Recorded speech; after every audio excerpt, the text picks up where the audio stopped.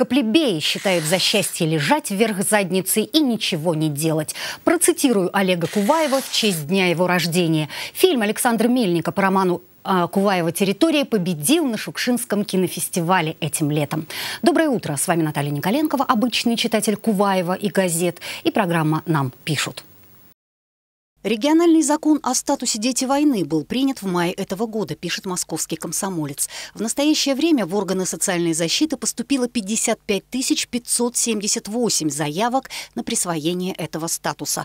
Статус «Дети войны» позволяет гражданам рассчитывать на социальную поддержку. Например, им оказывают внеочередную медицинскую помощь по программам государственных гарантий, дают право на получение свободных мест в организациях социального обслуживания.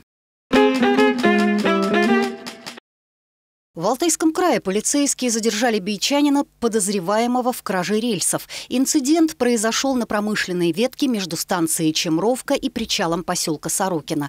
Похищенное полотно мужчина сдавал в пункт приема металла.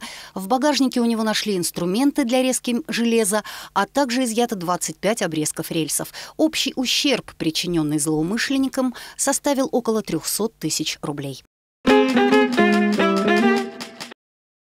На страницах Политсибру журналист и театральный критик Елена Рябова вспоминает золотые годы Барнаульского театра «Кукол». В памяти у меня осталась только одна работа режиссера Евгения Гиммельфарба. Это спектакль по повести сказки Василия Шукшина «Точка зрения». По тем временам это было полузапрещенное произведение. Удивительно, что Гиммельфарбу вообще разрешили это поставить. А кроме того, у него там были совершенно неожиданные метафоры.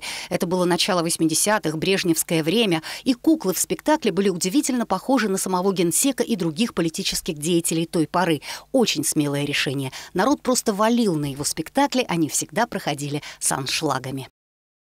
ВВС военно-воздушные силы. Словами мальчика Бананана из Ассы поздравляю с Днем ВВС наших доблестных летчиков. И по традиции желаю, чтобы количество посадок равнялось количеству взлетов. Увидимся завтра утром. Счастливенько. Целую. Thank you.